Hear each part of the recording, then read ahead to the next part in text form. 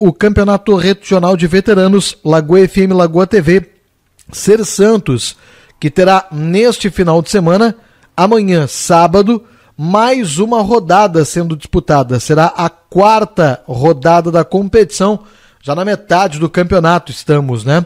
Ser Santos vai jogar contra o time de Davi Canabarro, no primeiro jogo a partir das duas horas da tarde, neste sábado, lá na sede campestre do Santos.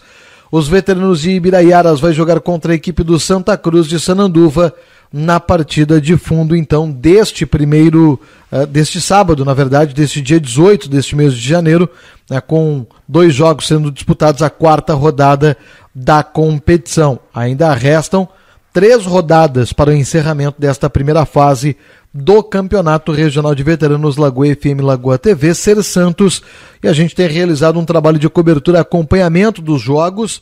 E para complementar as informações do esporte, a gente lembra que neste final de semana teremos o segundo final de semana de mais uma edição, a vigésima primeira da Copa Verão de Caseiros.